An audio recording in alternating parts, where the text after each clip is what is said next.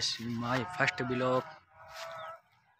सो guys नए channel को channel को करना सब्सक्राइब और लाइक कर देना